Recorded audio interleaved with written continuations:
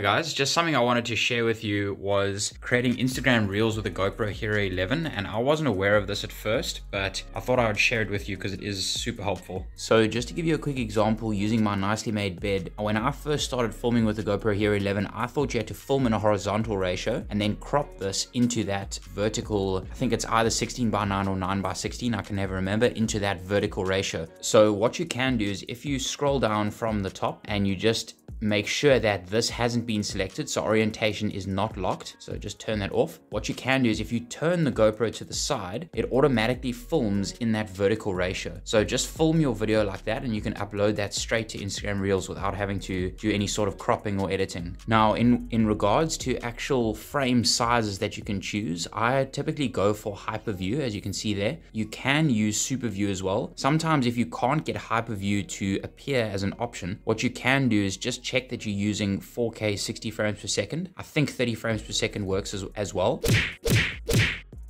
um, and then that option for hyperview will appear on the, on the left there. And then that obviously gives you that nice wide angle so that you can see what's going on in your video while still keeping that vertical format. So that was pretty much everything. Hopefully that helped. Um, I'm planning to make a couple more of these little videos, just giving small tips here and there of stuff that I've learned with regards to specifically GoPros and just editing software. Um, I use DaVinci Resolve. So if you're interested, maybe check some of those out. If you want to see the actual reels that I, I make, I put those all on pretty much Instagram and Facebook Facebook. So I've linked those accounts in the description as, as well if you want to check them out. Um, but yeah, other than that, if you liked it, please consider giving it a like and um, subscribe if you're interested. And I'll see you in the next one. Cool. Cheers.